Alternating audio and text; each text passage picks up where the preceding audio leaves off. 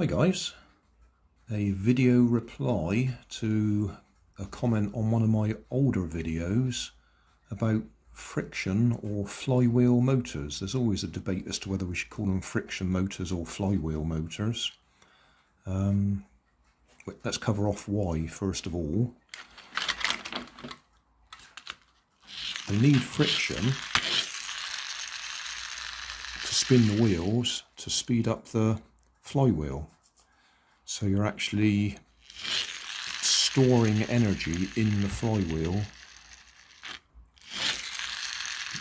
by the wheels gripping the floor. So they need friction there. So that's possibly why they're called a friction motor. The flywheel itself um, stores the power or the energy in the fact that it's spinning. It's also sort of the main component within the motor, so yes, you could call it a flywheel motor. Um, or you could call it gears, because there's gears in there as well. I don't know. But yeah, always a debate, is it a friction motor or a flywheel motor? The comment wasn't about that at all. The comment was this guy's um, toy car would go backwards but not forwards. Now, I can think of lots of possible reasons for that, most of them involving teeth missing in the gears.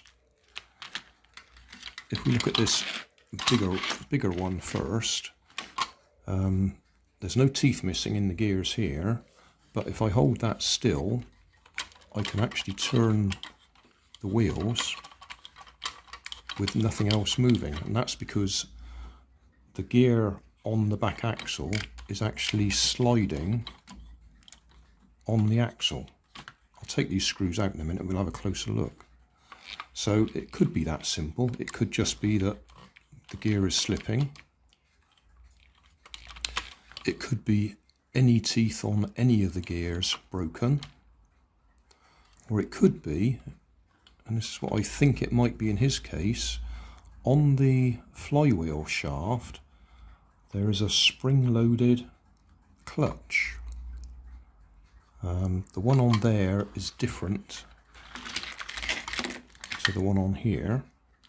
Oh, that's gone sunny now. Let me darken that down a bit. Right, sun wasn't out when I started. Now, on this one, if I get a pointy stick, just here you might be able to see there's a like an inside out gear. There's a gear there with teeth on the inside and then there there's little arms with a tooth on the end of them that dig in. So that's a clutch. If we force this, if we hold the wheel still and force it to turn, there you can see those teeth are slipping over. It's a protective clutch. Hold it still. Turn it. There we go. So it's protecting the teeth on the gears. Can you hear that? It's coming close. Can we focus that close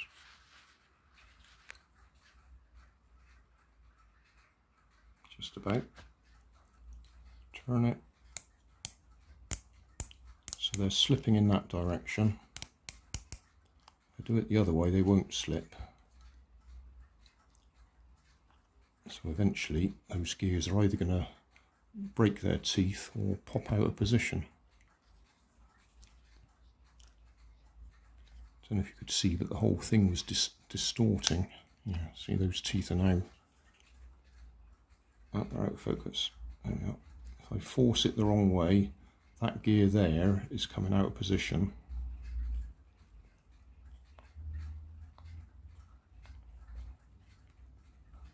And eventually, yeah, so it's uh, slipping. So that clutch is to prevent that happening but it only works in one direction.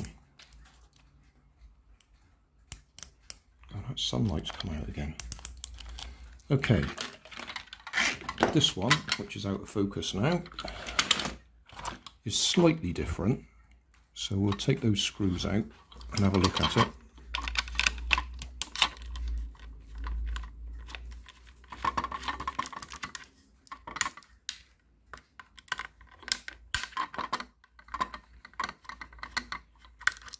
It's the same idea, but it's achieving it in a different way.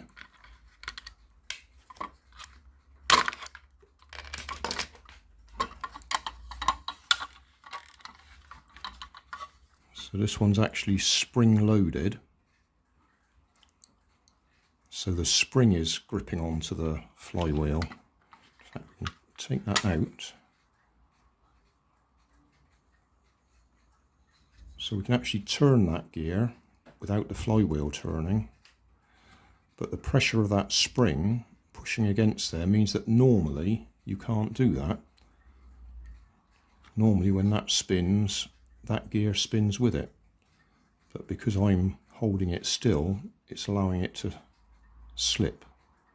So that spring there is pushing that washer onto that gear, holding it in place. Normally everything spins. But if something stops that gear spinning, then the flywheel can carry on and slip. So it's protection. As I say, this particular one,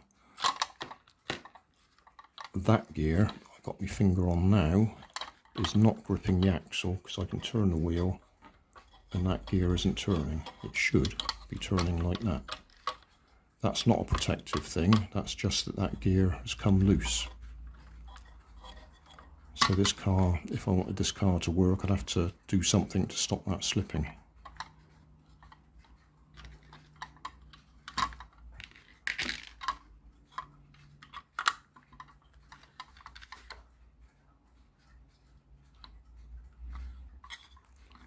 I just put that on backwards. I don't know.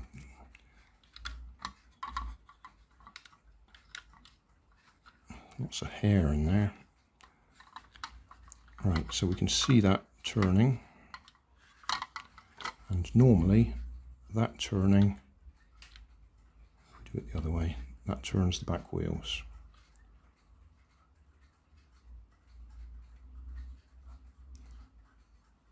But if something stopped the gears turning, then the flywheel can still turn because that spring it's actually allowing that gear to slide.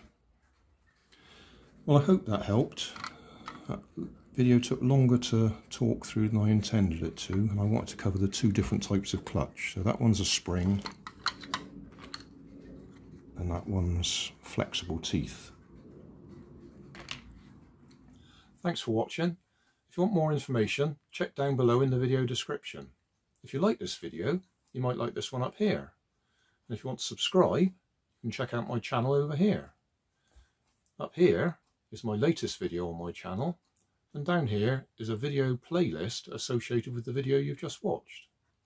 Thanks again for watching.